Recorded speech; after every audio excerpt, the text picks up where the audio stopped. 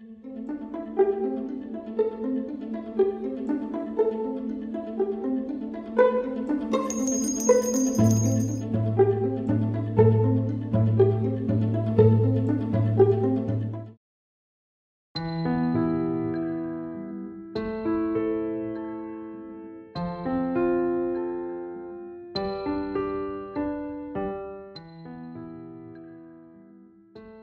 Assalamualaikum warahmatullahi wabarakatuh. Semoga Allah senantiasa merahmati kita semua. Kali ini akan dibacakan artikel yang berjudul Nasihat Para Wali Allah, kumpulan beberapa wasiat dan nasihat yang dimuat di paraaulia.blogspot.com. Nabi Muhammad Sallallahu Alaihi Wasallam.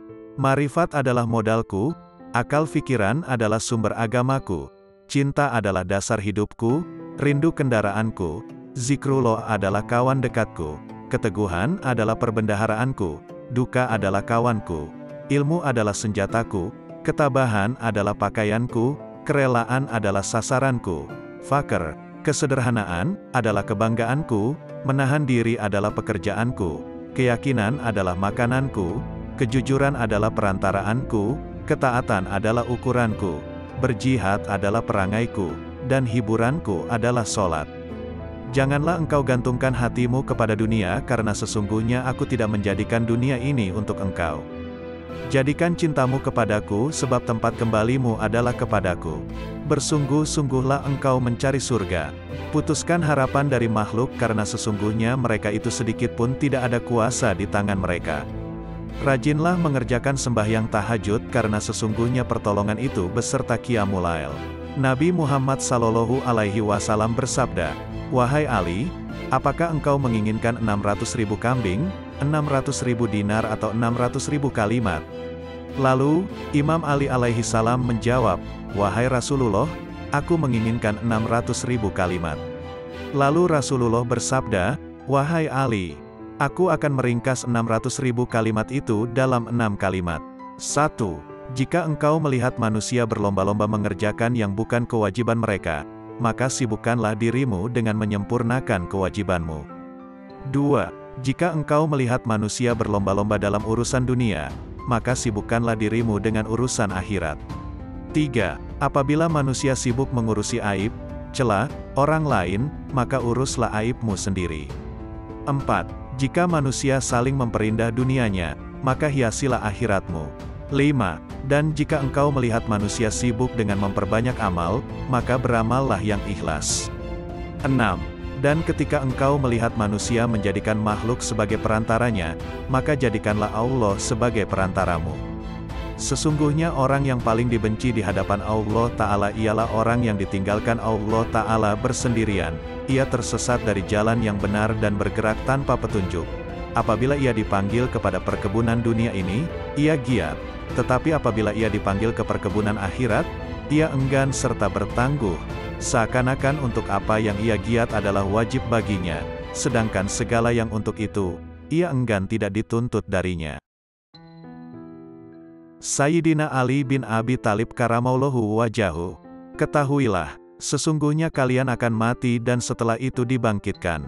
Kalian akan dimintai pertanggungjawaban atas semua amal kalian, serta mendapatkan balasan yang setimpal. Karena itu jangan tertipu kehidupan dunia. Kehidupan dunia ini penuh ujian, bersifat sementara dan syarat dengan tipu daya. Semua yang ada di dalamnya akan musnah. Para penghuninya pun saling berebut untuk memperolehnya. Ketahuilah, kalian beserta segala perhiasan kehidupan dunia akan mengalami hal yang sama dengan mereka yang terdahulu, orang-orang yang panjang umurnya dan lebih megah rumahnya. Sekarang jasad mereka telah menjadi tulang belulang, rumah mereka kosong. Mereka berada di kubur dekat dan penghuninya terasingkan. Mereka digerogoti oleh cacing, tertimbun oleh bebatuan dan pasir. Bayangkan kalian kelak akan menjadi seperti mereka, tubuh kalian hancur dan sendiri dikubur. Apa yang akan terjadi dengan kalian jika kiamat tiba? Semua yang dikubur dibangkitkan dan segala rahasia yang tersembunyi dalam dada dibongkar, pada saat itulah setiap jiwa akan memperoleh balasan sesuai dengan perbuatannya selama hidup di dunia. Hafalkanlah lima hal ini. 1. Seorang hamba hendaknya tidak berharap kecuali kepada Allah subhanahu wa ta'ala. 2. Seorang hamba hendaknya hanya takut akan dosa-dosanya. 3. Seorang yang bodoh hendaknya tidak merasa malu untuk bertanya. 4. Seorang yang berilmu ketika ditanya tentang sebuah persoalan dan tidak mengetahui jawabannya, hendaknya tidak malu untuk mengatakan, Allah subhanahu wa ta'ala yang maha mengetahui. 5. Bagi iman, sabar ibarat kepala sebuah tubuh, sehingga tidak sempurna iman seseorang yang tidak memiliki kesabaran. As-Syahid Sayyidina Hasan Syababul Janah radhiyallahu anhu. Tinggalkan apa yang meragukan hatimu, beralihan kepada sesuatu yang tidak meragukan hatimu, karena sesungguhnya kebenaran itu membawa ketenangan di dalam hati. Manusia celaka karena tiga hal, sombong, rakus dan dengki. Sombong adalah penyebab rusaknya agama dan karena sifat inilah iblis mendapat laknat. Rakus adalah musuh bagi hati manusia dan karena sifat inilah Nabi Adam dikeluarkan dari surga. Dengki adalah menuju kejahatan dan karena sifat inilah Kabil membunuh Habil. As-Syahid Sayyidina Hussein Syababul Janah, radhiyallahu anhu. Bila mana dunia dianggap sesuatu yang sangat berharga, maka sesungguhnya pahala Allah subhanahu wa ta'ala adalah lebih berharga dan lebih mulia. Bila mana tubuh ini dirawat hanya untuk menyambut kematian, maka terbunuhnya seseorang dengan pedang di jalan Allah subhanahu wa ta'ala lebih utama. Bila mana rizki yang sudah ditentukan, maka sedikitnya keserakahan seseorang dalam berusaha adalah lebih baik. Bila mana harta benda dihimpun hanya untuk ditinggalkan, maka apa gunanya seorang pelit terhadap sesuatu yang pasti ia tinggalkan. Sabar adalah mahkota, kesetiaan adalah harga diri, memberi adalah kenikmatan, banyak bicara adalah membual, omong kosong, tergesa-gesa adalah kebodohan, kebodohan adalah aib, berlebih-lebihan, dalam berkata, adalah omong kosong, berteman dengan orang yang ahli berbuat hina adalah kejahatan dan berteman dengan ahli kefasikan adalah pusat prasangka buruk. Bila mana dirimu digigit oleh kekejaman masa, maka janganlah kamu mengadu kepada manusia. Dan janganlah kamu meminta selain kepada Allah Tuhan yang Maha Penolong, yang Maha Tahu dan yang Maha Benar. Karena seandainya kamu hidup dan kamu telah berkeliling dari belahan barat sampai ke belahan timur, maka tentu kamu tidak menemukan seorang pun yang mampu membuat orang lain bahagia atau sengsara. Syekh Al-Imam Ibrahim bin Adham, radhiyallahu anhu. 10 pesan Ibrahim bin Adham 1. Kalian mengenal Allah tetapi kalian tidak menunaikan haknya. 2. Kalian mengaku mencintai Rasulnya, tetapi kalian meninggalkan sunnahnya. 3. Kalian membaca Al-Quran, tetapi kalian tidak mengamalkan isinya. 4. Kalian banyak diberi nikmat karunia, akan tetapi kalian tidak mensyukurinya. 5. Kalian mengatakan bahwa setan adalah musuh, tetapi kalian justru mengikuti langkahnya. 6. Kalian mengaku bahwa surga adalah benar adanya, namun kalian tidak melakukan amalan-amalan yang mengantar ke sana.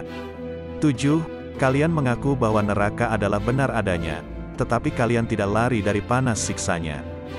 8. Kalian mengaku bahwa kematian benar adanya, namun kalian tidak mempersiapkan diri ke sana.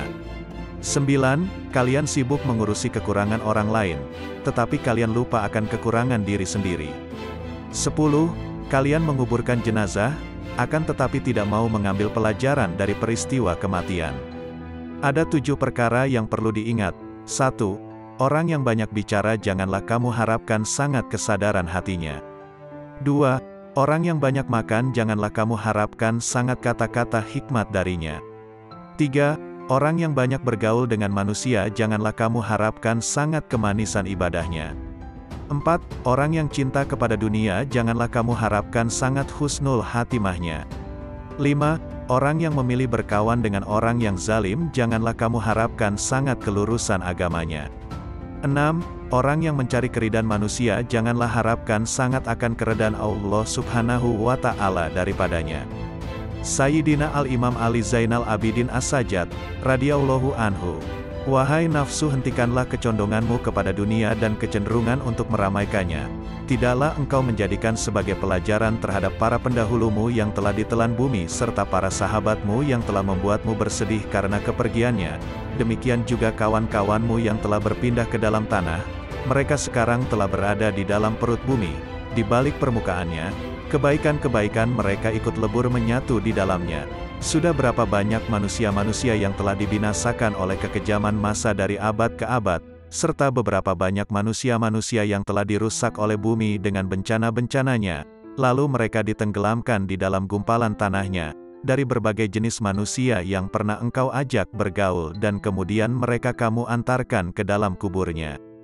Betapa banyak manusia yang telah ditipu oleh dunia dari mereka yang justru mendiaminya, dan betapa banyak manusia yang telah dibanting oleh dunia dari mereka yang justru menempatinya.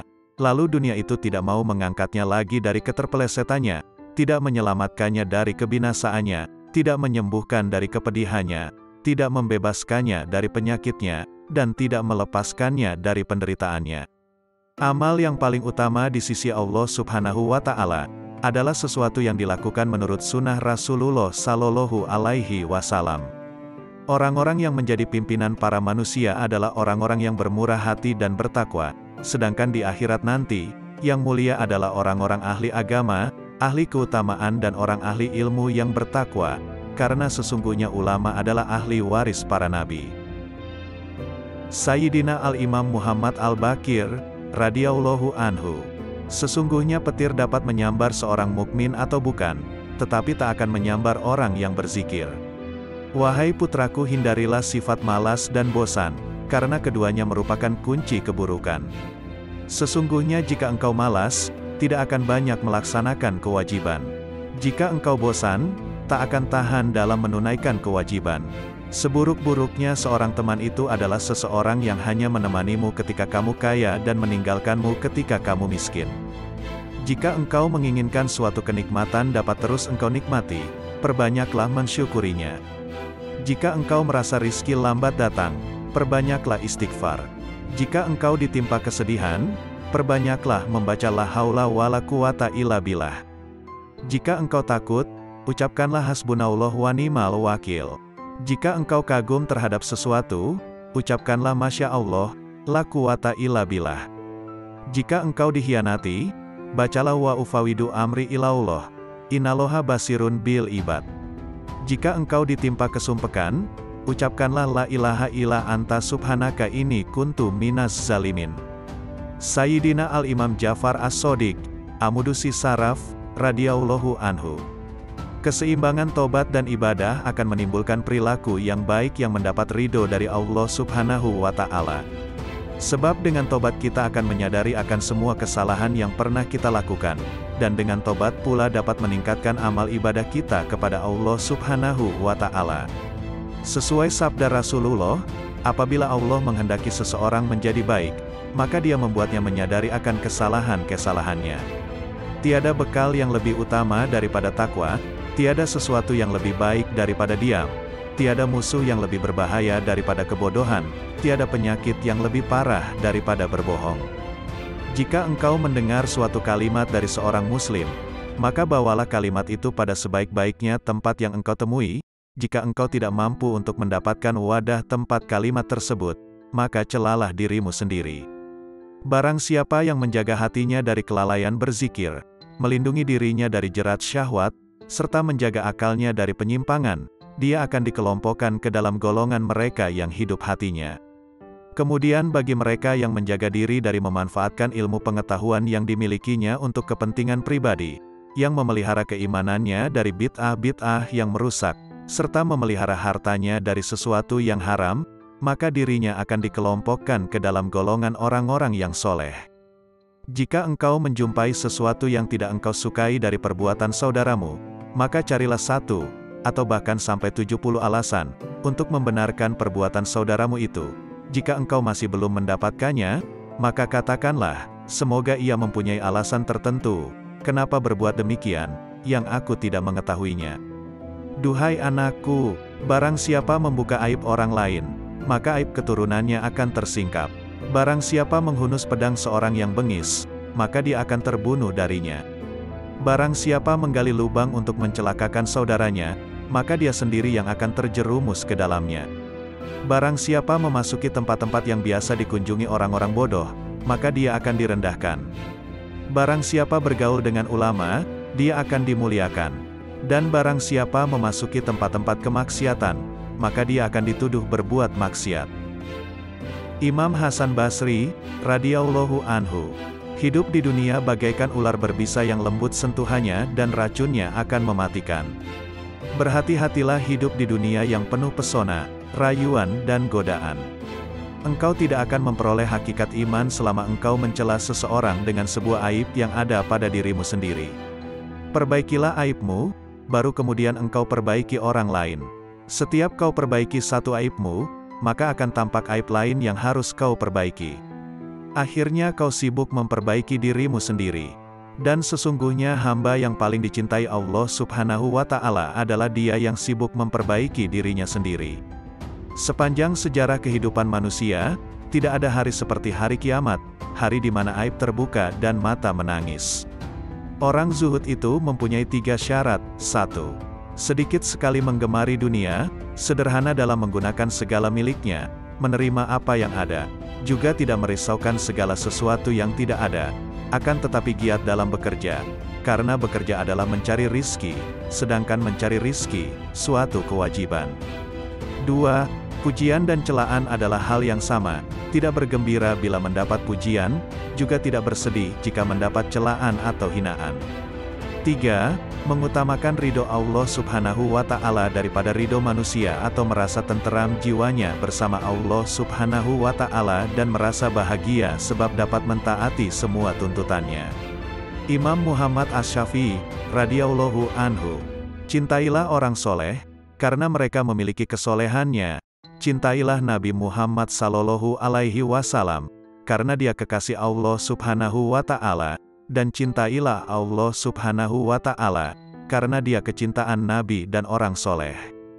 Dunia adalah tempat yang licin dan menggelincirkan, rumah yang hina, bangunan-bangunannya akan runtuh, penghuninya akan beralih ke kuburan, perpisahan dengannya adalah sesuatu keniscayaan, kekayaan di dunia sewaktu-waktu bisa berubah menjadi kemiskinan. Bermegah-megahan adalah suatu kerugian, maka memohonlah perlindungan Allah subhanahu wa ta'ala, terimalah dengan hati yang lapang segala karunia-Nya. Jangan terpesona dengan kehidupanmu di dunia sehingga meninggalkan kehidupan akhirat. Ketahuilah, sesungguhnya hidupmu di dunia akan sirna, dindingnya juga miring dan hancur, maka perbanyaklah perbuatan baik dan janganlah terlalu banyak berangan-angan. Menganggap benar dengan hanya satu pandangan merupakan suatu bentuk ketertipuan. Berpegangan dengan suatu pendapat itu lebih selamat daripada berkelebihan dan penyesalan. Melihat dan berpikir, keduanya akan menyingkap keteguhan hati dan kecerdasan. Bermusyawarah dengan orang bijak merupakan bentuk kemantapan jiwa dan kekuatan mata hati. Ketahuilah bahwa orang yang jujur kepada Allah Subhanahu wa Ta'ala, ia akan selamat. Barang siapa yang bersemangat dengan agamanya, ia pun akan selamat dari kerusakan, dan barang siapa yang berlaku zuhud dengan urusan dunianya, niscaya kelak pahala Allah subhanahu wa ta'ala, akan nampak indah di matanya.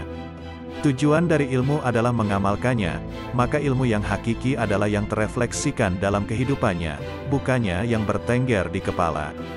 Jika engkau melihat seseorang berjalan di atas air dan bisa terbang di udara, maka janganlah kehebatan itu menjadikan kalian lengah dan terheran-heran kepadanya sampai kamu mengetahui secara persis atas apa yang dikerjakannya itu berlandaskan pada Al-Quran dan As-Sunnah. Jika rasa ujub menghinggapi aktivitasmu, maka lihatlah keridan siapa yang kau harapkan, pahala mana yang kau suka, sanksi mana yang kau benci. Maka jika engkau memikirkan satu di antara kedua hal ini, niscaya akan hadir di depan matamu apa yang sudah kamu lakukan. Bid'ah itu terbagi menjadi dua macam, segala sesuatu yang baru dan tidak sejalan dengan Al-Quran, Sunnah, Atsar, Ijma itu merupakan bid'ah dalalah, bid'ah yang sesat. Sementara jika sesuatu yang baru itu tidak berseberangan dengan Al-Quran, hadis, atsar dan ijma maka sesuatu yang baru itu disebut bid'ah hasanah, bid'ah yang baik. Barang siapa yang dipancing untuk marah, namun ia tidak marah, maka dia tak ubahnya keledai, dan barang siapa yang diminta keridoannya namun tidak ridho, maka dia adalah saitan. Tawadu adalah perkara yang sangat diidam-idamkan. Orang yang paling tinggi kedudukannya adalah mereka yang tidak melihat kedudukannya sendiri. Akan tetapi tawadu di hadapan orang yang tidak bisa menghargai orang lain merupakan bentuk kezaliman terhadap diri sendiri. Dasar ilmu adalah kemantapan dan buahnya adalah keselamatan. Dasar wara, menjaga diri dari sesuatu yang meragukan, adalah kona'ah, menerima karunia Allah subhanahu wa ta'ala dengan dada yang lapang, dan buahnya adalah ketenangan batin. Dasar kesabaran adalah keteguhan hati dan buahnya adalah kemenangan. Dasar suatu aktivitas adalah taufik, pertolongan Allah subhanahu wa ta'ala, dan buahnya adalah kesuksesan. Dasar tujuan akhir dari segala perkara adalah sidik, benar. Di antara orang yang tidak mempunyai harga diri adalah mereka yang dengan mudahnya memberitahukan usianya kepada orang lain. Karena kalau usianya lebih muda, tentu mereka akan menganggapnya rendah dan jika usianya lebih tua, tentu mereka akan beranggapan bahwa ia sudah pikun. Siapa yang merasa bahwa dalam dirinya terkumpul dua cinta, cinta dunia dan cinta kepada penciptanya, maka ia telah berdusta. Jika kalian melihat kitab yang di dalamnya ada catatan tambahan dan perbaikan, maka lihatlah kebenaran yang ada di dalamnya. Terimalah dariku tiga hal, satu, Jangan berbicara panjang lebar tentang sesuatu yang tidak baik perihal sahabat Rasulullah Sallallahu Alaihi Wasallam, karena kelak Rasulullah Sallallahu Alaihi Wasallam nantinya yang akan menjadi seterumu. 2. Janganlah kamu sibukkan dirimu dengan ilmu kalam, Sesungguhnya aku telah melakukan kajian dengan ahli ilmu kalam dan mereka telah melakukan taktil, meniadakan sifat Allah subhanahu wa ta'ala. 3. Dan janganlah menyibukkan dirimu dalam nujum, ramalan dengan bintang. Sayyidina Al-Imam Qutbil Rabani Syekh Abdul Qadir Al-Jailani, radhiyallahu anhu. Hai orang-orang yang lalai, Secara terang-terangan engkau menentang Allah subhanahu wa ta'ala yang maha benar dengan bermaksiat kepadanya tetapi merasa aman dari siksanya. Ketahuilah tak lama lagi rasa aman itu akan berubah menjadi ketakutan. Masa luangmu menjadi kesempitan. Kesehatanmu menjadi sakit. Kemuliaanmu menjadi kehinaan. Kedudukanmu menjadi rendah. Kekayaanmu menjadi kemiskinan. Ketahuilah, rasa aman dari siksa Allah subhanahu wa ta'ala Azza wa Jalla yang akan kau peroleh di hari kiamat sesuai dengan rasa takutmu kepadanya di dunia ini. Sebaliknya, ketakutanmu di hari kiamat, sesuai rasa amanmu, dari siksa Allah di dunia. Sayangnya, engkau tenggelam di dunia dan terperosok ke lembah kelalaian, sehingga cara hidupmu seperti hewan. Yang kalian ketahui hanya makan, minum, menikah dan tidur. Keadaan kalian ini tampak nyata bagi orang-orang yang berhati suci. Rasa rakus terhadap dunia, keinginan untuk mencari dan menumpuk-numpuk harta telah memalingkan kalian dari jalan Allah dan pintunya. Hai yang ternoda karena ketamakannya, andai kata kau bersama penghuni bumi bersatu untuk mendatangkan sesuatu yang bukan bagianmu, maka kalian semua tidak akan mampu mendatangkannya. Oleh karena itu tinggalkanlah rasa tamak untuk mencari sesuatu, rezeki, yang telah ditetapkan untukmu, maupun yang tidak ditetapkan untukmu. Apakah pantas bagi seorang yang berakal untuk menghabiskan waktunya memikirkan sesuatu yang telah selesai pembagiannya? Tabir penutup kalbumu tak akan tersibak selama engkau belum lepas dari alam ciptaan, tidak berpaling darinya dalam keadaan hidup selama hawa nafsumu belum pupus, selama engkau melepaskan diri dari kemaujudan dunia dan akhirat, selama jiwamu belum bersatu dengan kehendak Allah subhanahu wa ta'ala dan cahayanya. Jika jiwamu bersatu dengan kehendak Allah subhanahu wa ta'ala dan mencapai kedekatan dengannya lewat pertolongannya. Makna hakiki bersatu dengan Allah subhanahu wa ta'ala ialah berlepas diri dari makhluk dan kedirian, serta sesuai dengan kehendaknya tanpa gerakmu, yang ada hanya kehendaknya. Inilah keadaan fana dirimu, dan dalam keadaan itulah engkau bersatu dengannya, bukan bersatu dengan ciptaannya. Sesuai firman Allah subhanahu wa ta'ala, Tak ada sesuatu pun yang serupa dengannya, dan dialah yang maha mendengar dan maha melihat. Anakku pertama-tama nasihatilah dirimu, kemudian nasihatilah orang lain. Perhatikanlah dirimu, jangan mengurusi orang lain.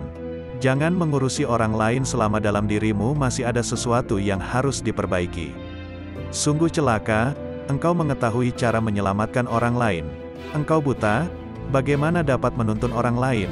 Hanya yang memiliki penglihatan tajamlah yang mampu menuntun umat manusia. Hanya orang yang mengenal Allah subhanahu wa ta'ala lah yang dapat mengembalikan manusia ke jalannya. Seseorang yang tidak mengenalnya, bagaimana dapat menuntun umat manusia ke jalannya? Kalian menghadiri majelis ilmu hanya untuk mencari jalan keluar bagi permasalahan duniawi kalian, bukan untuk mengobati penyakit hati. Kalian tidak mendengarkan nasihat para penceramah, tetapi meneliti kesalahan mereka, kemudian menghina dan menertawakannya, kalian juga bermain-main dalam majelis. Sesungguhnya kalian sedang mempertaruhkan diri kepada Allah subhanahu wa ta'ala yang maha agung dan maha mulia. Segeralah bertobat, Jangan mencontoh musuh-musuh Allah subhanahu wa ta'ala. Berusahalah untuk mengambil manfaat dari apa yang kalian dengar. Syekh Imam Al-Ghazali, radhiyallahu anhu. Renungkanlah pendeknya umurmu. Andai kata engkau berumur 100 tahun sekalipun, maka umurmu itu pendek jika dibandingkan dengan masa hidupmu kelak di akhirat yang abadi, selama-lamanya. Coba renungkan agar dapat beristirahat pensiun, selama 20 tahun dalam satu bulan atau setahun engkau sanggup menanggung berbagai beban berat dan kehinaan di dalam mencari dunia. Tetapi mengapa engkau tidak sanggup menanggung beban ibadah selama beberapa hari demi mengharapkan kebahagiaan abadi di akhirat nanti? Jangan panjang angan-angan, engkau nanti akan berat untuk beramal. Yakinilah bahwa tak lama lagi engkau akan mati. Katakan dalam hatimu, pagi ini aku akan beribadah meskipun berat, siapa tahu nanti malam aku mati. Malam ini aku akan sabar beribadah, siapa tahu besok aku mati. Sebab, kematian tidak datang pada waktu, keadaan dan tahun tertentu, yang jelas pasti ia datang. Oleh karena itu, mempersiapkan diri menyambut kedatangan maut lebih utama daripada mempersiapkan diri menyambut dunia. Bukankah kau menyadari betapa pendek hidupmu di dunia? Bukankah bisa jadi ajalmu hanya tersisa satu tarikan dan hembusan nafas atau satu hari? Setiap hari lakukanlah hal ini dan paksakan dirimu untuk sabar beribadah kepada Allah subhanahu wa ta'ala. Andai kata engkau ditakdirkan untuk hidup selama 50 tahun dan kau biasakan dirimu untuk sabar beribadah, nafsumu akan tetap berontak, tetapi ketika maut menjemput kau akan berbahagia selama-lamanya. Tetapi, ketika engkau tunda-tunda dirimu untuk beramal, dan kematian datang di waktu yang tidak kau perkirakan, Kehidupan seorang muslim tidak dapat dicapai dengan sempurna, kecuali mengikuti jalan Allah yang dilalui secara bertahap. Tahapan-tahapan itu antara lain, tobat, sabar, fakir, zuhud, tawakal, cinta, makrifat dan rida. Karena itu seseorang yang mempelajari tasawuf wajib mendidik jiwa dan ahlaknya. Sementara itu, hati adalah cermin yang sanggup menangkap makrifat. Dan kesanggupan itu terletak pada hati yang suci dan jernih. Berbicara tentang nasihat, kulihat diriku tak pantas untuk memberikannya. Sebab, nasihat seperti zakat, nisyabnya adalah kemampuan untuk memetik nasihat itu bagi dirinya sendiri. Seseorang yang belum mencapai nisyab, bagaimana ia akan mengeluarkan zakat? Dan seorang yang tak memiliki cahaya, bagaimana dapat dijadikan sebagai alat penerang oleh orang lain? Bagaimana bayangan akan lurus jika kayunya bengkok? Allah subhanahu wa ta'ala mewahyukan kepada Isa bin Maryam alaihi salam, Nasihatilah dirimu, jika kau mampu memetik nasihat, maka nasihatilah orang lain. Jika tidak, maka malulah kepadaku, barang siapa hendak mengetahui aib-aibnya, maka ia dapat menempuh empat jalan berikut. 1. Duduk di hadapan seorang guru yang mampu mengetahui keburukan hati dan berbagai bahaya yang tersembunyi di dalamnya.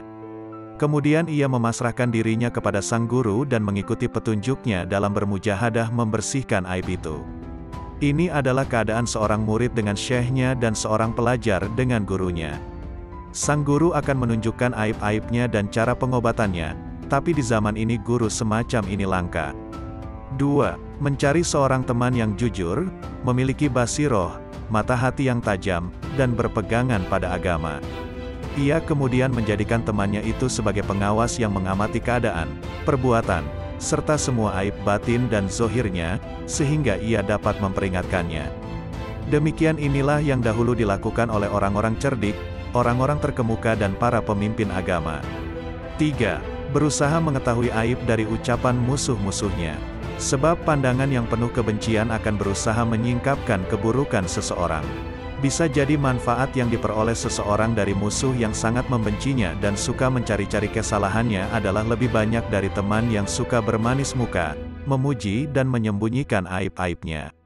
Namun, Sudah menjadi watak manusia untuk mendustakan ucapan musuh-musuhnya dan menganggapnya sebagai ungkapan kedengkian. Tetapi, orang yang memiliki mata hati jernih mampu memetik pelajaran dari berbagai keburukan dirinya yang disebutkan oleh musuhnya. 4. Bergaul dengan masyarakat. Setiap kali melihat perilaku tercela seseorang, maka ia segera menuduh dirinya sendiri juga memiliki sifat tercela itu. Kemudian ia tuntut dirinya untuk segera meninggalkannya. Sebab, seorang mukmin adalah cermin bagi mukmin lainnya. Ketika melihat aib orang lain ia akan melihat aib-aibnya sendiri. Sangat jauh jika bermaksud memaknai sehat atau kenyang tanpa mengalami sendiri rasa sehat atau kenyang. Mengalami mabuk lebih jelas daripada hanya mendengar tentang arti mabuk, meskipun yang mengalaminya mungkin belum pernah mendengar teori mabuk. Maka mengetahui arti dan syarat-syarat zuhud tidak sama dengan bersifat zuhud. Kehidupan seorang muslim tidak dapat dicapai dengan sempurna, kecuali mengikuti jalan Allah subhanahu wa ta'ala yang dilalui secara bertahap. Tahapan-tahapan itu antara lain, tobat, sabar, fakir, zuhud, tawakal, cinta, makrifat dan rida. Karena itu seseorang yang mempelajari tasawuf wajib mendidik jiwa dan ahlaknya. Sementara itu, hati adalah cermin yang sanggup menangkap makrifat. Dan kesanggupan itu terletak pada hati yang suci dan jernih. Sayyidina Al-Imam Syekh Abu Hasan Ali Asyazili, radhiyallahu anhu. Jika kasyaf bertentangan dengan Al-Quran dan Sunnah, tinggalkanlah kasyaf dan berpeganglah pada Al-Quran dan Sunnah. Katakan pada dirimu sesungguhnya Allah subhanahu wa ta'ala menjamin keselamatan saya dalam kitabnya dan sunnah rasulnya dari kesalahan, bukan dari kasyaf, ilham, maupun musyahadah sebelum mencari kebenarannya dalam Al-Quran dan sunnah terlebih dahulu. Jika engkau menginginkan bagian dari anugerah para wali, berpalinglah dari manusia kecuali dia menunjukkanmu kepada Allah subhanahu wa ta'ala dengan cara yang benar dan tidak bertentangan dengan Al-Quran dan sunnah. Manakala zikir terasa berat di lisanmu, sementara pintu kontemplasi tertutup, ketahuilah bahwa hal itu semata-mata karena dosa-dosamu atau kemunafikan dalam hatimu. Tak ada jalan bagimu, kecuali bertaubat, memperbaiki diri, hanya menggantungkan diri kepada Allah subhanahu wa ta'ala dan ikhlas beragama. Ketuklah pintu zikir dengan hasrat dan sikap sangat membutuhkan kepada Allah subhanahu wa ta'ala melalui kontemplasi, menjauhkan diri segala hal selain Allah subhanahu wa ta'ala. Lakukanlah dengan menjaga rahasia batin, agar jauh dari bisikan nafsu dalam seluruh nafas dan jiwa, sehingga kalian memiliki kekayaan rohani.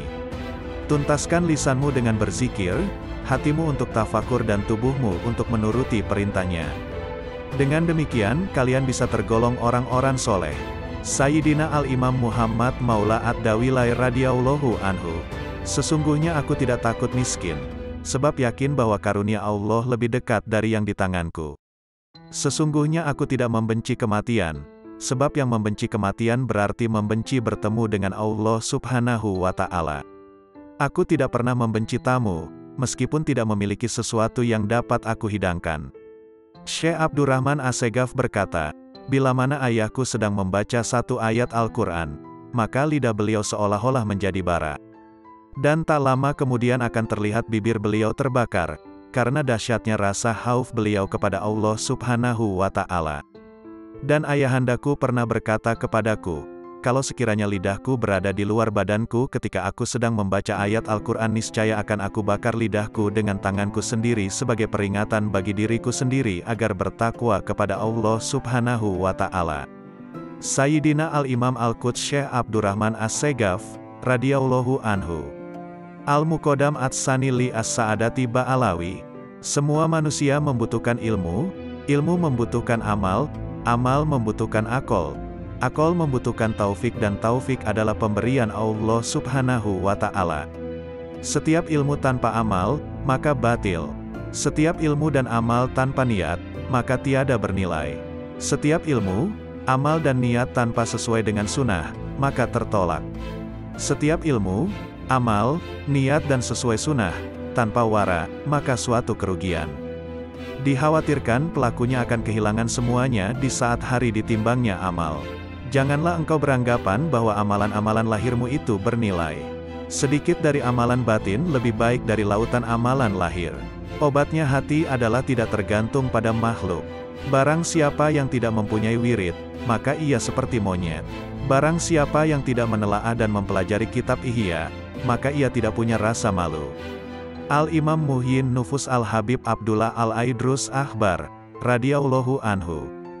Di antara waktu yang bernilai tinggi, merupakan pembuka pembendaharaan ilahi, di antara zuhur dan asyar, maghrib dan isya dan tengah malam terakhir sampai ba'da subuh. Sumber segala kebaikan dan pangkal segala kedudukan dan keberkahan akan dicapai melalui ingat mati, kubur dan bangkai. Keridan Allah subhanahu wa ta'ala dan Rasulnya terletak pada mutalaah, mempelajari dan memperdalam Al-Quran dan hadis serta kitab-kitab agama Islam. Meninggalkan dan menjauhi gibah adalah raja atas dirinya, menjauhi naimah, mengadu domba, adalah ratu dirinya, baik sangka kepada orang lain adalah wilayah dirinya, duduk bercampur dalam majelis zikir adalah keterbukaan hatinya. Peraslah jasadmu dengan mujahadah, memerangi hawa nafsu dunia, sehingga keluar minyak kemurnian. Barang siapa yang menginginkan keridan Allah, hendaklah mendekatkan diri kepada Allah subhanahu wa ta'ala, karena keajaiban dan kelembutan Allah terdapat pada akhir malam. Jangan kau abaikan sedekah pada setiap hari sekalipun sekecil atom. Perbanyaklah baca Al-Quran setiap siang dan malam hari. Ciri-ciri orang yang bahagia adalah mendapatkan taufik dalam hidupnya, banyak ilmu dan amal serta baik perangai maupun tingkah lakunya. Orang yang berakal adalah yang diam, tidak bicara sembarangan, orang yang takut pada Allah subhanahu wa ta'ala adalah orang yang banyak sedih, merasa bersalah. Orang yang roja, mengharap ridho Allah subhanahu wa ta'ala, adalah orang yang banyak melakukan ibadah. Orang yang mulia adalah yang bersungguh-sungguh dalam kebaikan dan ridho Allah subhanahu wa ta'ala yang didambakan hidupnya. Orang yang bertaubat adalah yang menyesali perbuatannya, menjauhi pendengaran yang tidak bermanfaat, dan mendekatkan diri kepada Allah subhanahu wa ta'ala. Al-Imam Qutbil Irfan Al-Habib Ali As-Sakran, radhiyallahu anhu. Barang siapa memiliki hubungan dengan orang-orang yang telah meninggal dunia dengan terbiasa menghadiahkan pahala membaca Al-Quran, zikir, doa, sedekah dan ibadah lainnya, maka kelak dikubur dia tidak akan merasa kesepian. Bahkan setelah meninggal dunia dia akan merasa senang. Dia seperti orang yang berkunjung ke rumah teman yang pandai menghibur dan selalu memuliakannya. Saudaraku, jangan tinggalkan satupun summah dan adab yang terdapat dalam syariat, tanpa uzur, alasan yang benar. Sebab, Abdullah bin Mubarak radhiyallahu anhu berkata, Barang siapa meremehkan adab, akibatnya dia akan meninggalkan sunnah. Dan barang siapa meremehkan sunnah, akibatnya dia akan meninggalkan yang wajib, akibatnya dia tidak akan memperoleh makrifat. Rasulullah Shallallahu Alaihi Wasallam bersabda, maksiat merupakan utusan, kurir, kekufuran.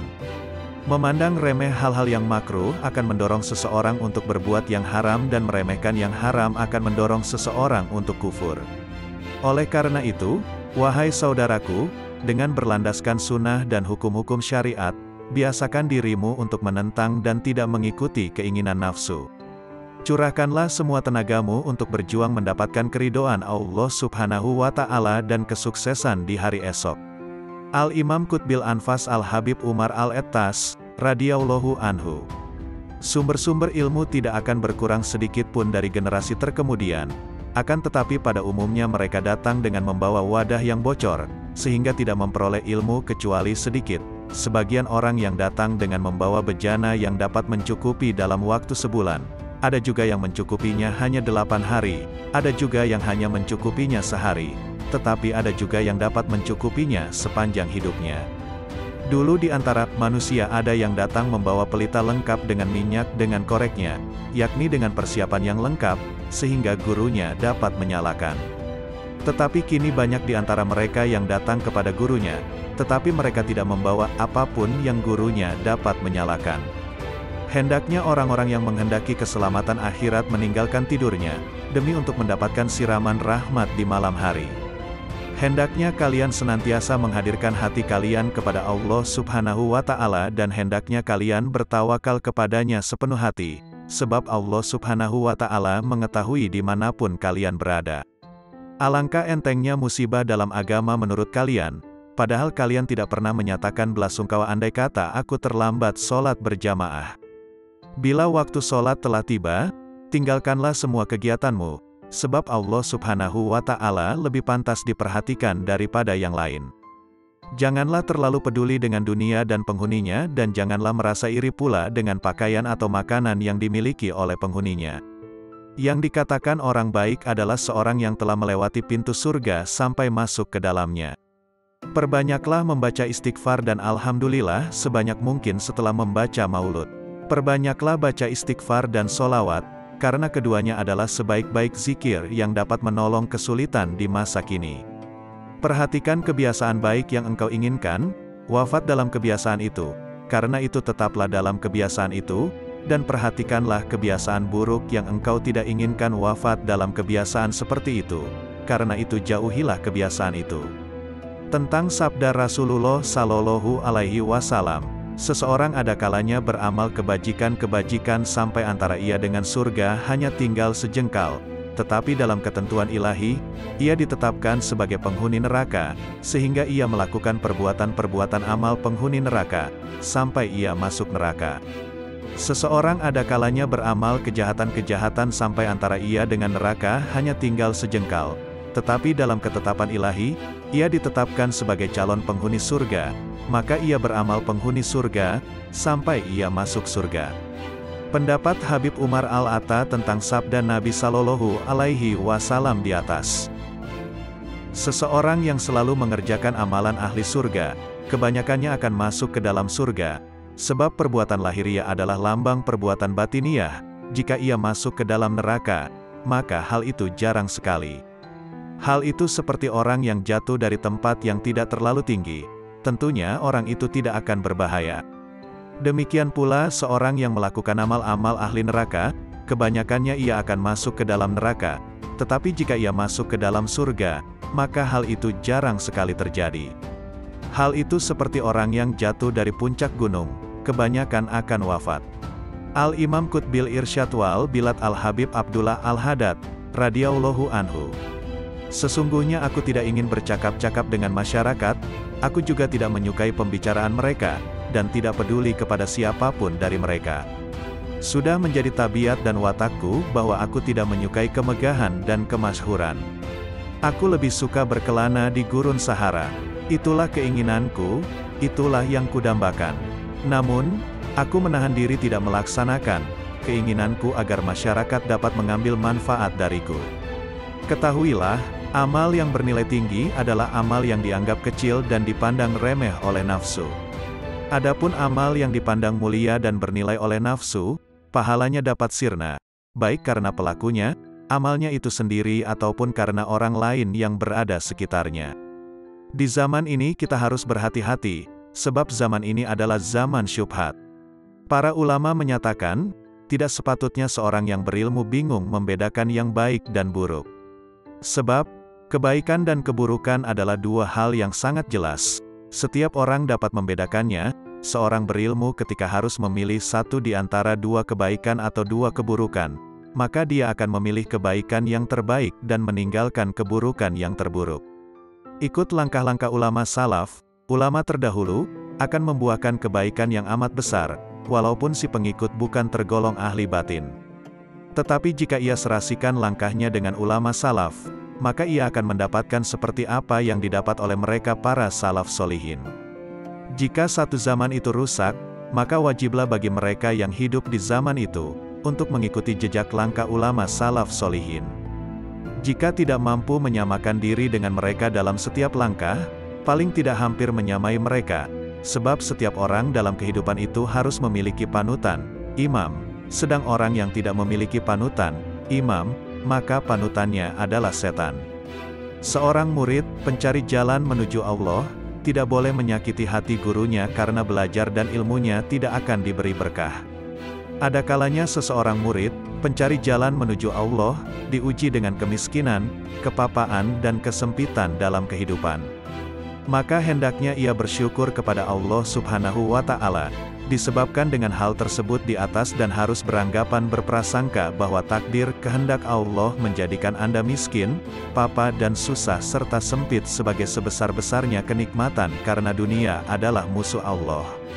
Anda harus bersyukur, maka Allah akan mengangkat derajatnya sama dengan para nabinya, para aulianya dan hamba-hamba yang soleh.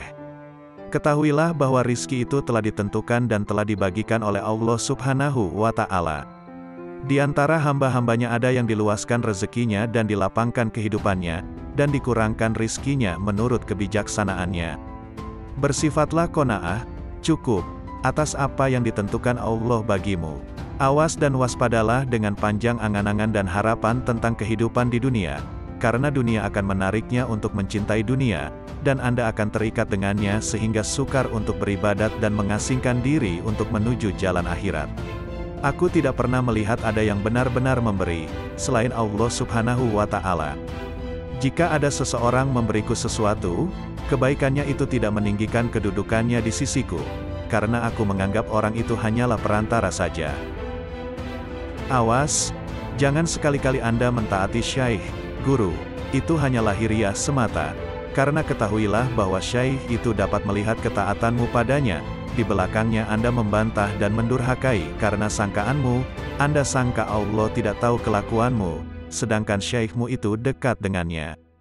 Kalau Anda begitu akan mendapatkan kecelakaan, kesempitan dan kebinasaan, bukankah Allah berjanji kepada barang siapa aku cintai maka penglihatannya adalah penglihatanku, pendengarannya adalah pendengaranku, mulutnya adalah mulutku, tangannya adalah tanganku dan kakinya adalah kakiku. Barang siapa memusuhinya atau menyakitinya, maka aku dan para malaikatku mengumandangkan perang terhadap dirinya. Persahabatan, pertemanan dan pergaulan memiliki pengaruh yang sangat kuat untuk membuat seseorang menjadi baik maupun buruk. Persahabatan dan pergaulan dengan orang-orang soleh dan berbudi membawa manfaat, sedangkan persahabatan dan pertemanan dengan orang-orang fasik dan durhaka membawa bahaya. Hanya saja manfaat persahabatan dengan orang soleh atau bahaya pergaulan dengan pendurhaka tersebut terkadang tidak tampak secara langsung, akan tetapi secara bertahap dan setelah berlangsung lama. Secara umum, pada awalnya kebaikan itu berat untuk dilakukan, tetapi akhirnya penuh dengan kenikmatan. Orang yang berbuat baik ibarat seorang pendaki gunung terjal. Ia tidak akan merasa tenang sebelum sampai ke puncaknya. Sedangkan, Keburukan awalnya manis dan akhirnya kelak berat. Orang yang melakukan perbuatan buruk adalah ibarat seorang yang jatuh dari puncak gunung atau atap sebuah rumah. Ia baru merasa akan merasa kesakitan setelah mendarat di tanah. Tuntutlah ilmu dari orang-orang yang benar-benar mewarisi ilmu dari Rasulullah Sallallahu Alaihi Wasallam, yang sanat isnatnya, silsilah ilmunya sampai kepada Rasulullah. Para orang soleh itu setelah wafat hanya hilang jasadnya saja, pada hakikatnya masih hidup seperti sedia kala malah tambah tajam pandangan basirohnya dan makin kuat tawajuhnya, menghadap kepada Allah subhanahu wa ta'ala. Al-Imam Syekh Abu Bakar bin Salim, radhiyallahu anhu. Orang yang bahagia adalah orang yang disenangkan oleh Allah tanpa alasan tertentu dan orang yang sengsara adalah orang yang disengsarakan Allah tanpa sebab tertentu. Demikianlah menurut ilmu hakikat. Sedangkan menurut ilmu syariat, orang yang bahagia adalah orang yang oleh Allah diberi kesenangan dengan melakukan berbagai amal saleh, dan orang yang disengsarakan oleh Allah dengan meninggalkan amal-amal saleh dan melanggar syariat agama. Orang yang sengsara adalah orang yang mengikuti hawa nafsunya barang siapa mengenal dirinya, ia tidak akan melihat selain Allah subhanahu wa ta'ala.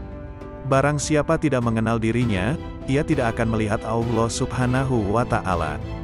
Barang siapa tidak memelihara waktunya, ia tidak akan selamat dari bencana.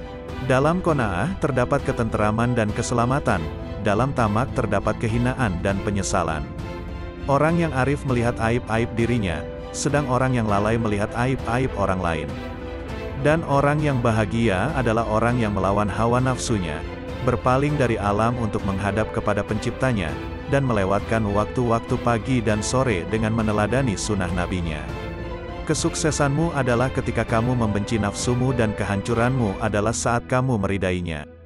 Karena itu, bencilah nafsumu dan jangan meridainya, niscaya kamu akan berhasil meraih segala cita-citamu, insya Allah.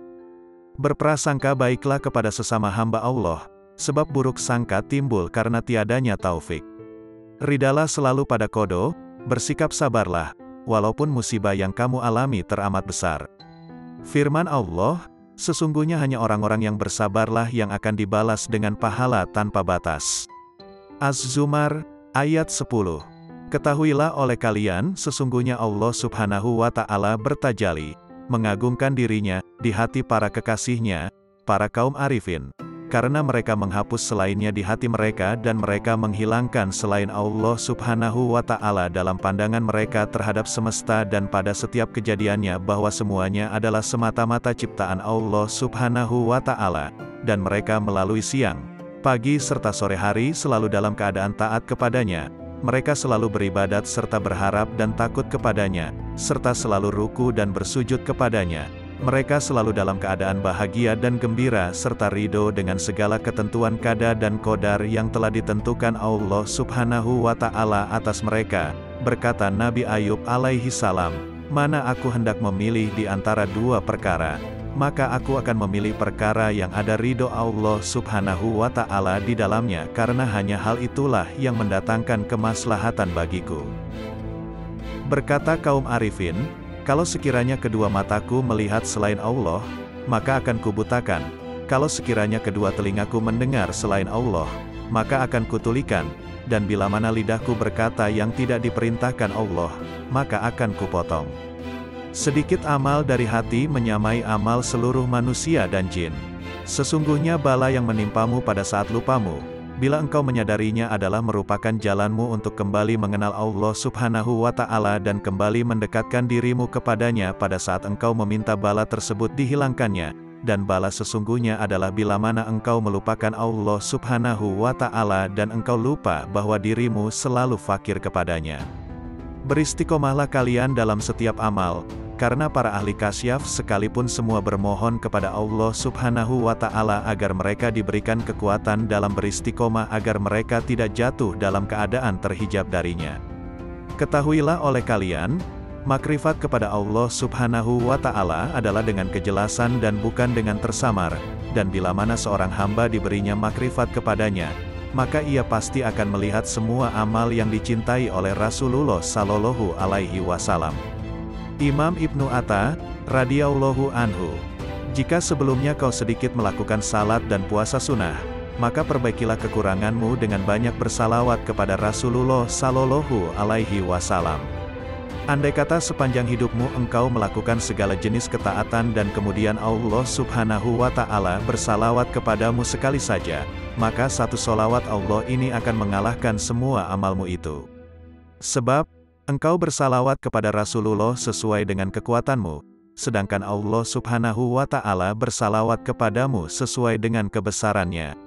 Ini jika Allah subhanahu wa ta'ala bersalawat kepadamu sekali, lalu bagaimana jika Allah subhanahu wa ta'ala membalas setiap solawatmu dengan sepuluh solawat sebagaimana yang disebutkan dalam sebuah hadis sahih.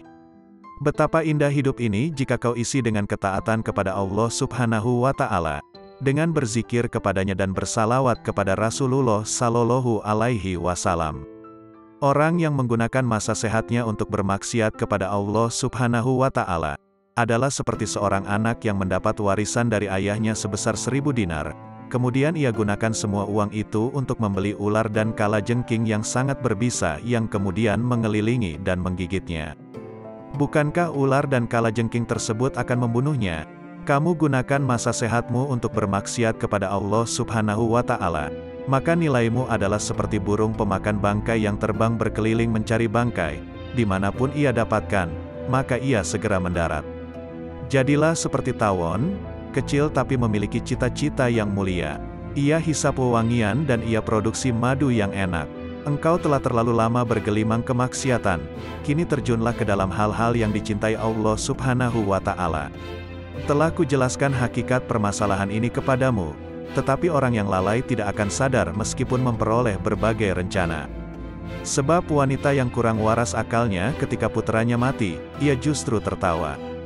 Begitu pula dirimu, engkau tinggalkan sholat malam, puasa sunnah dan berbagai amal soleh lain yang dapat kau kerjakan dengan seluruh anggota tubuhmu, tetapi tidak sedikit pun engkau merasa sakit. Kelalaian telah membunuh hatimu. Orang hidup akan merasa sakit ketika tertusuk jarum.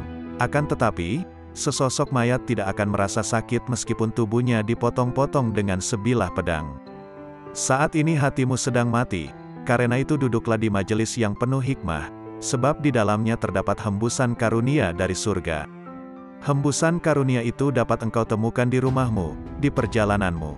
Jangan tinggalkan majelis ilmu, andai kata dirimu masih melakukan banyak maksiat. Jangan berkata, apa manfaatnya aku datang ke majelis ilmu, sedangkan aku senantiasa bermaksiat dan tidak mampu meninggalkannya. Akan tetapi, lepaskanlah busur panahmu selalu, jika hari ini tidak tepat sasaran, bisa jadi besok tepat sasaran. Engkau hendaknya berpikir untuk melakukan amal sebaik mungkin, bukan sebanyak mungkin. Banyak amal jika tidak dilakukan dengan baik adalah seperti pakaian yang banyak jumlahnya, tetapi harganya murah harganya. Sedangkan sedikit amal tetapi berkualitas, dikerjakan dengan baik, adalah seperti sedikit pakaian tetapi mahal harganya. Amal yang berkualitas, dikerjakan dengan baik, adalah seperti sebuah intan berlian, kecil bentuknya tetapi mahal harganya.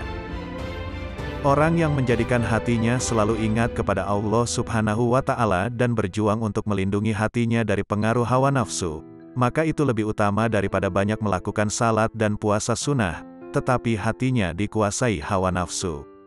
Orang yang melakukan salat dengan hati lalai adalah seperti seseorang yang menghadiahkan seratus peti kosong kepada seorang raja, tentunya sang raja akan marah dan selalu mengingat perbuatan buruknya ini.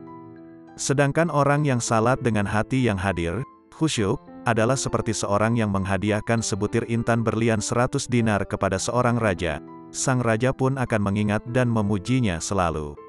Suatu perbuatan paling berbahaya yang harus kamu waspadai adalah dosa-dosa kecil. Sebab, ketika berbuat dosa besar, engkau menyadari bahayanya dan segera bertobat. Tetapi, terhadap dosa-dosa kecil, engkau sering kali meremehkannya dan tidak bertobat darinya.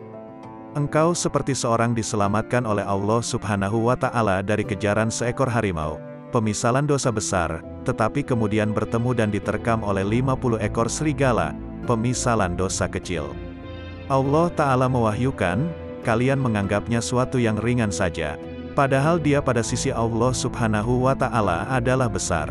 An-Nur, ayat 15 Dosa besar jika disandarkan pada kemurahan Allah subhanahu wa ta'ala menjadi kecil.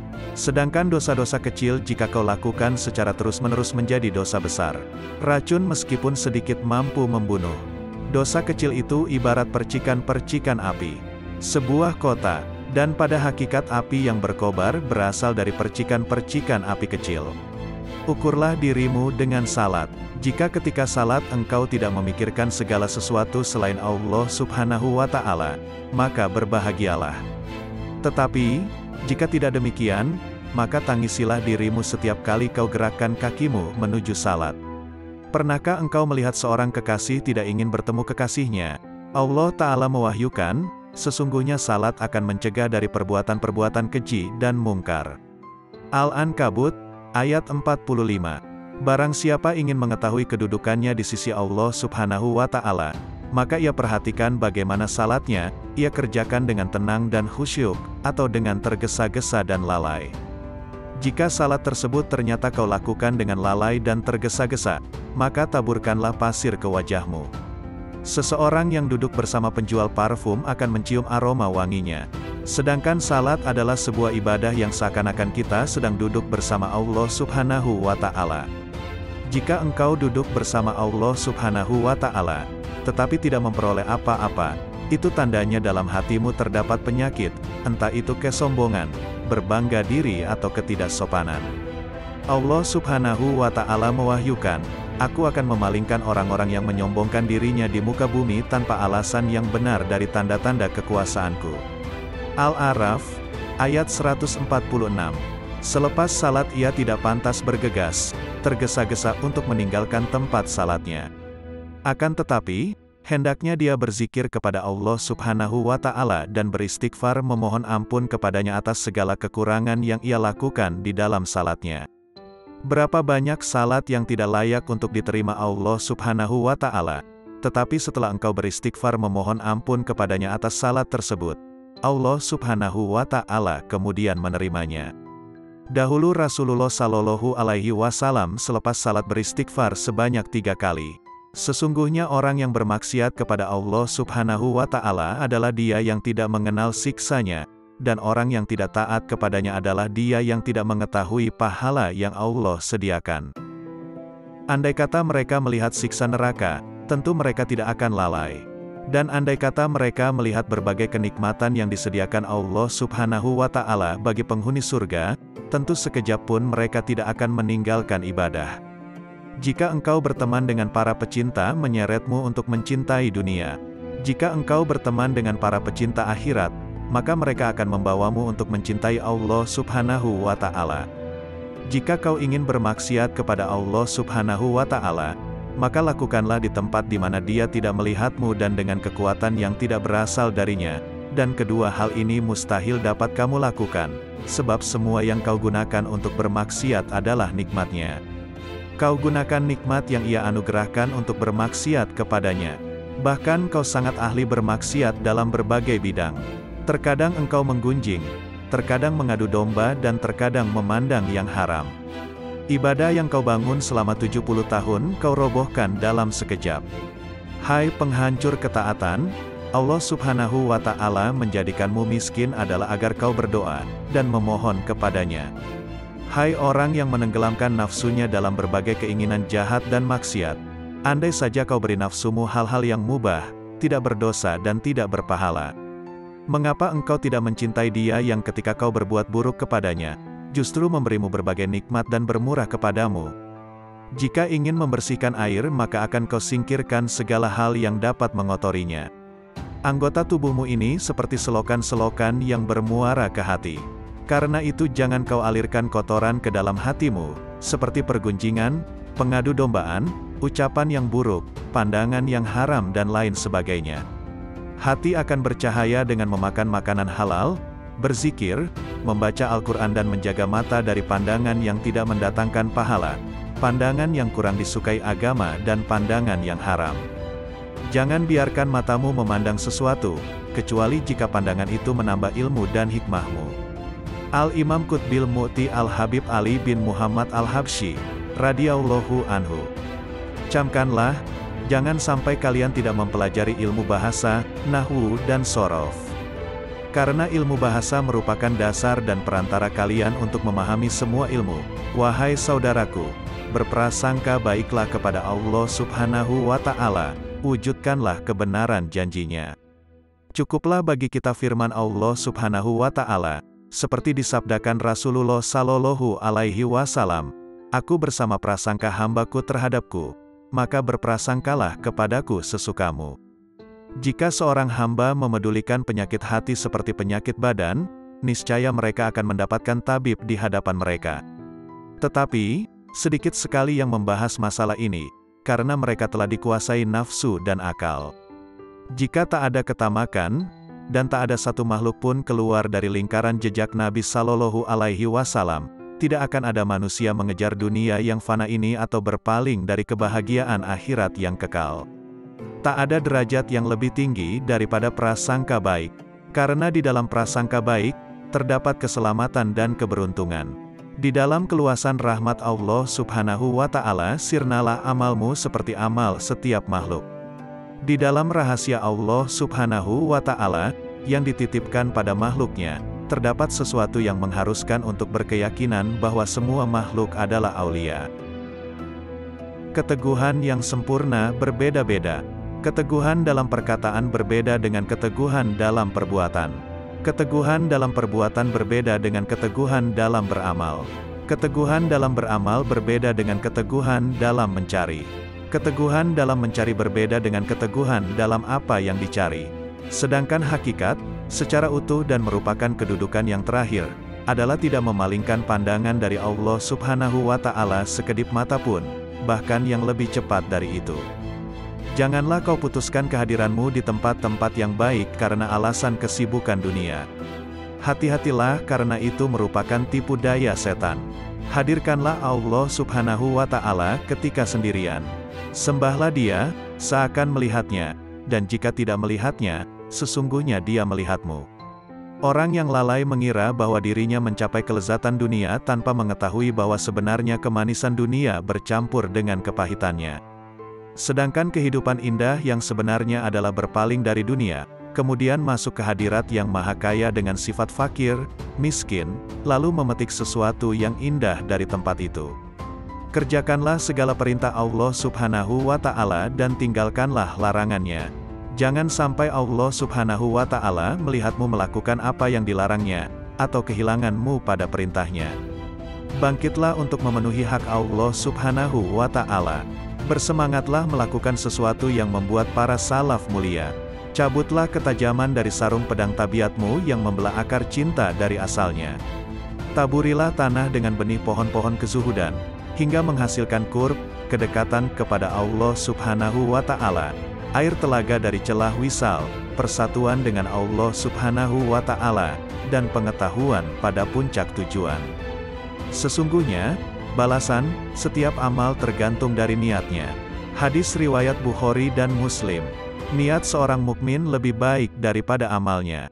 Sudah menjadi sifat seorang mukmin untuk menetapkan berbagai amal yang agung dan berusaha mengamalkannya, padahal dia hanya mampu mengamalkan sebagian darinya. Sebagai contoh adalah orang yang berniat menggunakan semua nafasnya, waktunya, untuk membaca wirid, zikir atau untuk berpikir. Ternyata dia hanya mampu menggunakan sebagian waktunya saja. Apa yang telah dia kerjakan itu baik, tapi niatnya tersebut lebih baik dari amal yang telah dia kerjakan. Syekh Salman Al-Farisi, radhiyallahu anhu. Tiga kelompok manusia yang membuatku heran hingga tertawa. 1. Orang yang senantiasa mengangan-angankan dunia, padahal kematian selalu mengejarnya. 2. Orang yang lalai, padahal semua perbuatannya tidak akan dilalaikan, akan dibalas. 3. Orang yang tertawa, padahal dia tidak tahu, Allah subhanahu wa ta'ala yang maha memelihara alam semesta, murka atau rida kepadanya. Hati dan jasad adalah seperti seorang tunanetra, orang buta, dan seorang lumpuh memasuki sebuah kebun. Si lumpuh berkata kepada sang tunanetra, Aku bisa melihat buah-buahan yang ada di kebun ini tetapi tidak dapat memetiknya, karena aku lumpuh. Kau tidak dapat melihatnya, tetapi kau tidak lumpuh, gendonglah aku. Sang tunanetra menggendong si lumpuh, dan memetik buah-buahan tersebut, kemudian mereka memakannya. Ruh dan jasad bekerja sama untuk berbuat maksiat kepada Allah subhanahu wa ta'ala, maka keduanya layak mendapat siksa. Syekh Harits Al-Muhasibi, radhiyallahu anhu. Saudaraku, ku peringatkan kau agar tidak sombong. Ingatlah bahwa Allah subhanahu wa ta'ala senantiasa mengawasimu. Oleh karena itu jangan sekali-kali menghina seseorang atau menolak kebenaran yang disampaikan kepadamu. Allah subhanahu wa ta'ala murka kepada seseorang yang bersikap demikian dan ia akan merendahkan mereka yang menyombongkan diri. Bagaimana kau dapat menghina seorang muslim, padahal kau tidak pernah tahu bagaimana akhir usiamu dan usianya kelak. Di samping itu kau juga tidak mengetahui, kelak engkau akan masuk mana, surga atau neraka. Jika mau bersikap jujur, maka yang paling pantas untuk kau hina adalah dirimu sendiri. Sudahkah kau teliti keburukan-keburukan dirimu dan kekotoran jiwamu yang tidak diketahui orang lain, sehingga kau sucikan hati orang lain dan kau cela dirimu sendiri? Sesungguhnya kau dilarang untuk memuliakan dan menyucikan dirimu sendiri. Perbuatan ini haram bagimu, jika kau lakukan, kelak di hari kiamat kau akan berada di bawah telapak kaki orang-orang yang kau hina di dunia. Renungkanlah ini dan memohonlah kepada Allah subhanahu wa ta'ala untuk menolongmu menghapuskan kesombongan dari hatimu.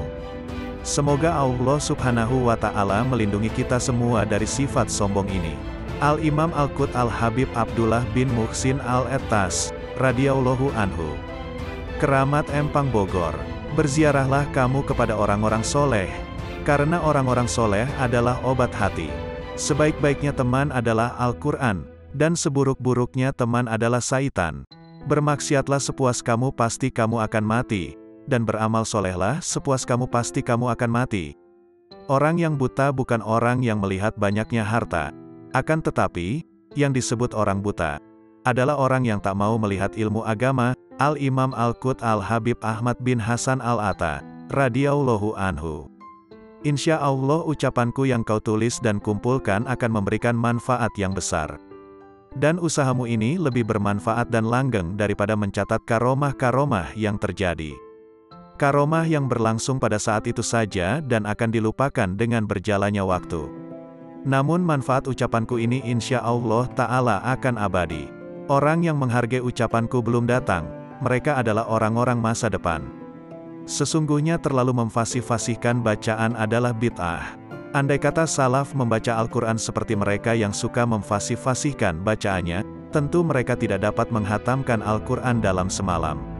Imam Ghazali juga pernah berkata bahwa hudur dan khusyuk dalam membaca Al-Quran tidak mungkin dapat dirasakan oleh orang yang membaca Al-Quran dengan terlalu memfasihkan huruf dan memberi tekanan berlebihan pada tashhid-tashhidnya. Andai kata kalian curahkan seluruh konsentrasi kalian untuk merenungkan makna rahmat, pujian, rububiyah, kekuasaan Allah subhanahu wa ta'ala, al-malik, penghambaan, permohonan hidayah, sirotol mustaqim yang ada dalam fatihah, maka itu lebih baik. Jika kau membaca ayat sajadah dan pada saat itu kau berada di tempat yang tidak layak untuk sujud, maka bayangkanlah seakan-akan dirimu berada di tempat yang mulia, seperti Masjidil Haram atau masjid-masjid lainnya. Setelah itu sujudlah dengan hatimu. Syekh Abdul Qadir Al-Jailani dalam bukunya yang berjudul Al-Gunyah mengatakan, Jika aku berdiri mengerjakan sholat, maka bayangkanlah seakan-akan kau sedang menghadap Ka'bah dan saksikanlah Ka'bah itu dengan hatimu niscaya kau akan meningkat ke makom yang lain. Kerjakanlah salat karena Allah subhanahu wa ta'ala memerintahkannya. Jadikanlah makna segala sesuatu sebagai tujuanmu. Jangan jadikan cara pengucapan huruf, makraj, dan sejenisnya sebagai pusat perhatianmu dalam salat. Tapi amati dan renungkan, tadabur, makna ayat yang kau baca. Apa yang menghalangimu untuk merenungkan makna basmalah, arti rahmat ayat pertama dan makna syukur. Renungkan dengan pemberi nikmat dan pemelihara alam, makna rahmat di ayat ketiga, makna raja dan penguasa, makna ibadah, pertolongan, hidayah, sirotol mustaqim dan orang-orang yang berjalan di atasnya, yaitu orang-orang yang diberi nikmat oleh Allah subhanahu wa ta'ala, renungkan tentang orang-orang yang berpaling, yakni orang-orang yang dimurkai Allah subhanahu wa ta'ala. Manusia mempunyai dua sayap yang dapat ia gunakan untuk terbang ke tempat yang mulia, yaitu niat dan himah, semangat dan tekad. Sedangkan penghuni zaman ini berpijak pada salah satu di antara keduanya. Ada yang memiliki niat, tapi tidak memiliki himah. Ada yang himahnya besar tapi belum memiliki niat. Jika seseorang mempunyai niat, kemudian memperoleh himah, maka Allah subhanahu wa ta'ala akan memperhatikannya dan akan menyampaikannya pada tujuan. Niat itu sebelum himah dan himah sebelum amal. Setiap zaman ada 124 ribu wali dan setiap wali mewarisi hal dari Nabi Sallallahu Alaihi Wasallam. Di antara mereka ada yang tahu dirinya wali, tapi ada juga yang tidak tahu. Imam Junaid berkata, Barang siapa membuka bagi dirinya satu pintu niat baik, maka Allah subhanahu wa ta'ala membukakan baginya 70 pintu taufik. Dan barang siapa membukakan untuk dirinya satu pintu niat buruk, maka Allah subhanahu wa ta'ala membukakan untuknya 70 pintu hislan, dorongan untuk bermaksiat.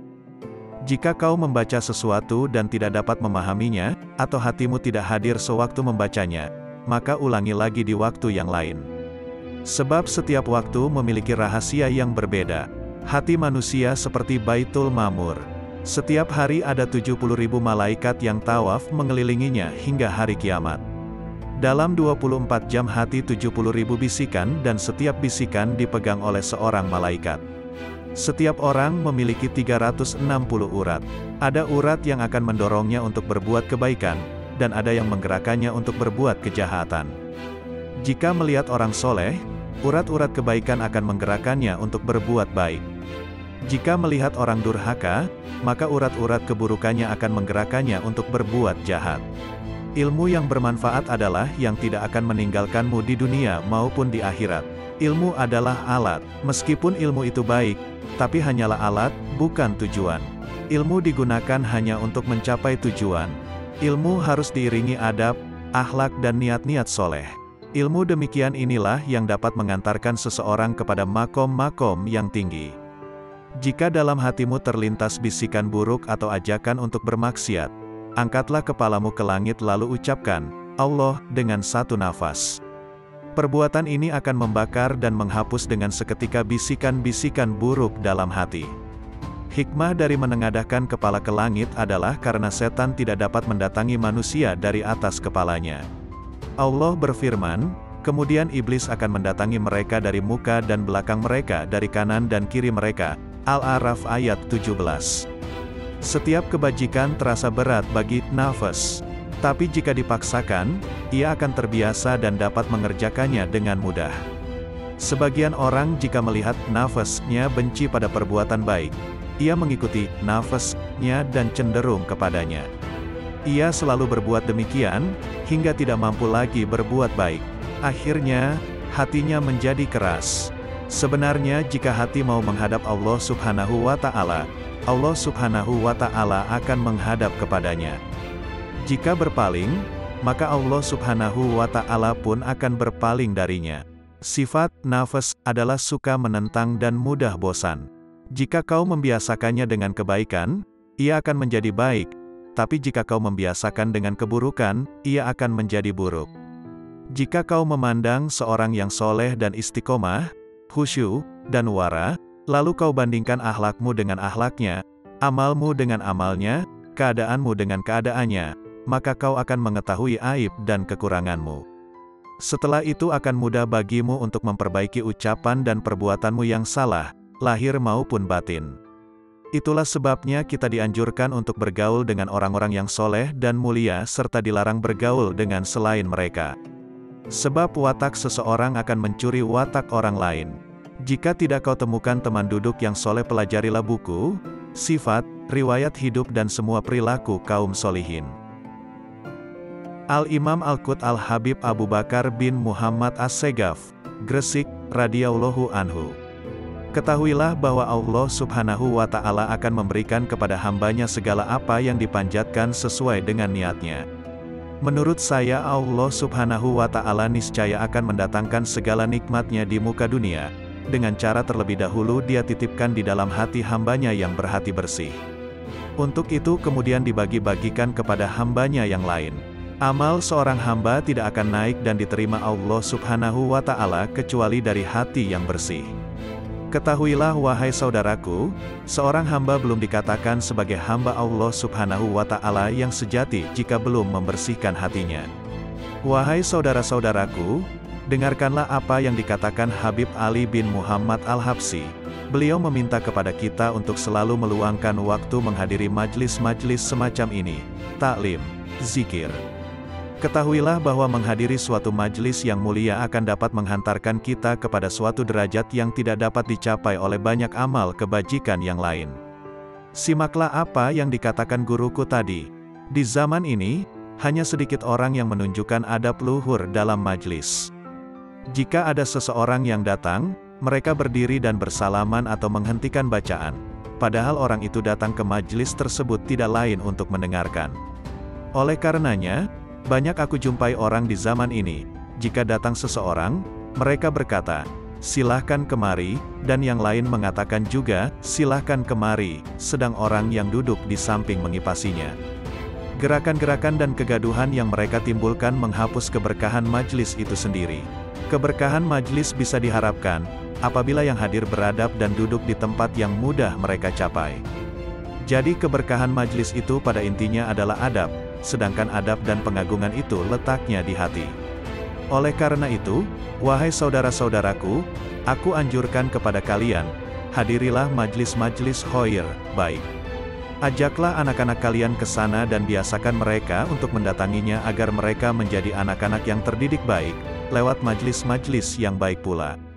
Saat-saat ini aku jarang melihat santri-santri atau siswa-siswa madrasah yang menghargai ilmu.